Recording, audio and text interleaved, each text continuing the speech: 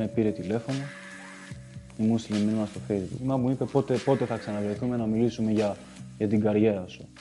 Μου είχε πει προηγουμένως ότι ε, ήταν κοντινός φίλος του Ρουβά. Εμένα δεν μου άρεσε το στυλ του Ρουβά, δεν του τραγουδιού, δεν ήταν κάτι το οποίο εμένα δεν ήταν του στυλ μου.